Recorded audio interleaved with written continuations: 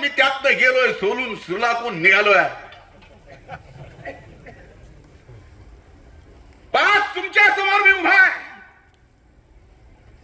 तुमच्यासमोर उभा असून तुमच्याशी बोलत असताना आपल्या मनावर हात ठेवून सांगा की हा धनंजय मुंडे तुमच्या लाकडीत आला आणि सुनेत्रा ताईंच्या प्रचारासाठी भाषण देतोय.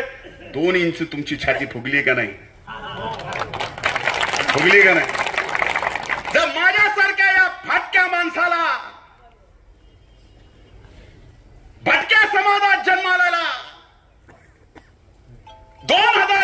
राज्याची विधानसभेची निवडणूक पडल्यानंतर राज्याच्या सार्वभौम सभागृहामध्ये विरोधी पक्ष नेते पदाची जबाबदारी जर अजितदादा पवारांनी दिली नसती तर आज तुमच्यासमोर हा तुमचा दोन इंच फुगवणारा धनंजय मुंडे सुद्धा उभा राहू शकला नसता याचा विचार या निवडणुकीत करा.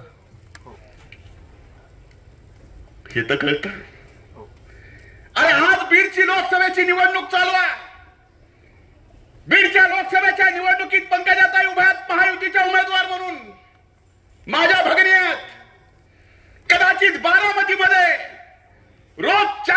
फोन दादा लावत असतील.